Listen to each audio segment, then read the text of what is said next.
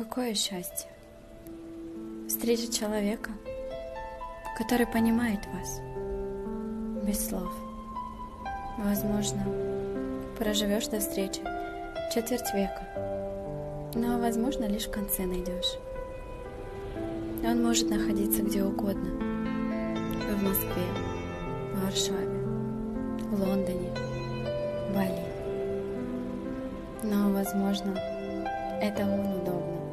Присел на лавочке у озера вдали. Не сомневайся.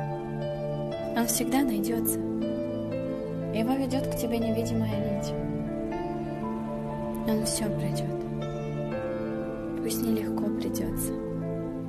Но знай, с пути его никак не сбить.